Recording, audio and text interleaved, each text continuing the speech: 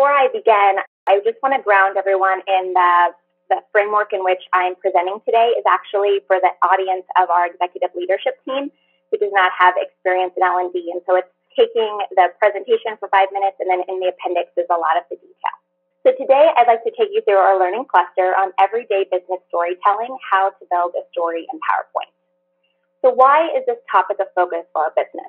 We want to increase our internal team productivity by limiting presentation rework and ultimately improve how we support our clients through our ability to problem solve, apply insights, strategize, measure our marketing campaigns.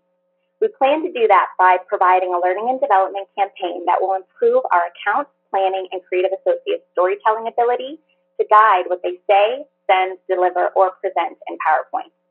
So as we think through how we're going to define success, we plan to see a variety of changes to on-the-job behavior. First, we want to see an 80% of our teams leveraging a simple story framework for internal and external PowerPoint presentations.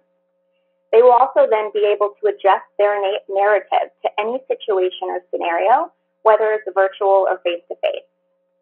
Also, they'll keep their audience focused by communicating the point of view of those must knows. There will be fewer rounds of edits and piecemeal client presentations to really drive that efficiency and clarity.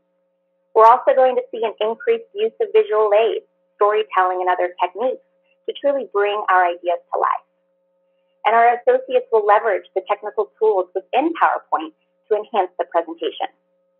And then finally, we're going to create champions within our organization that use a simple storytelling framework to support our business goals. So next, then I want to introduce you to our target learners. First, we have experienced Ed. He um, is experienced in building presentations in PowerPoint for client and internal meetings. About 80% of the time, the story that he tells in PowerPoint is impactful, it's clear and concise. But when he moves too fast and he's pressed for time, they may forget to ensure that there's a single thread flowing through the full presentation. And he's guilty of creating and spreading Frankenstein decks when short on time. Then we have intermediate Penny. They spend a lot of time owning, building, and contributing to presentations in PowerPoint for client and internal meetings, but have not yet mastered the art of storytelling. They understand the basics of setup, story, closing, but they really struggle when they receive content from other contributors and they default to just dropping in the slides wherever they make the most sense. And they have a hard time pushing back when content may not be right for the story. Then we have contributor Carter.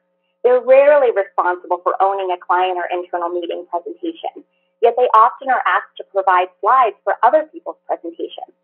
They flex their output of those presentations depending on how much time they have and their ultimate understanding of the assignment. And then finally, we have newbie Nikki.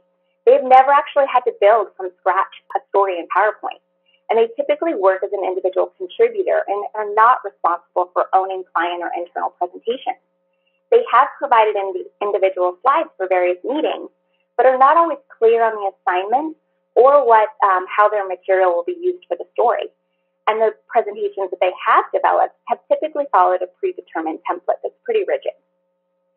So as we design for the modern learner and customize our learning content to meet the needs of our team, we will surround each of our target learner groups with a variety of meaningful assets support their personalized learning journey in and out of the flow of work. We will have formal learning experiences such as facilitated training for immediate Penny and newbie Nikki, and e-learning courses and email nudges for all of their learners.